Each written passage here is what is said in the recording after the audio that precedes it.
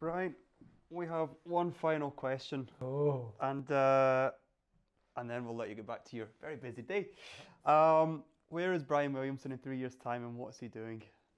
well, I'd like to think in three years' time I was in the four ICG six international offices and being the wind beneath the wings of the management team that's developing these offices, because I don't see myself going.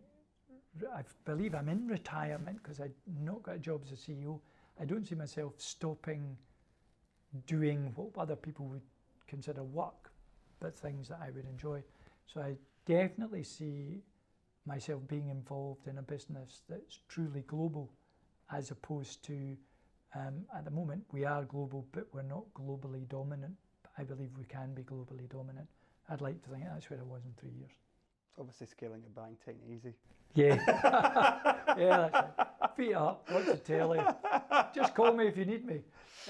Um, I think that's a, a wrap, folks. What was I going to say? I'd like to say a huge thank you to Thank Brian you, Williamson Benedetto. for It's been a pleasure. It's an absolutely brilliant talk. I know we're going to get tons and tons of good material, and uh, can't wait to show everybody, show the online world, uh, some of your insights. For those that haven't had the pleasure of hearing you speak, um, what I was going to say was I'd like to take a minute just to thank Alan, who you've just seen from Custom Flavor Video.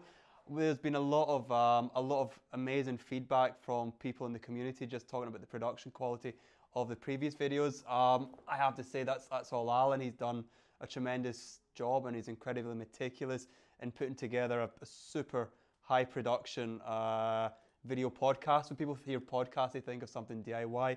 Alan's given us that additional bit of quality, so huge thank you for that. Um, we'll be back before the end of the year for one final Loftcast with another special guest. Until then, all we can say is think big and keep pushing the limits. Thank you very much. Thank you. Cheers. Thanks again. Thanks again, Benedetto.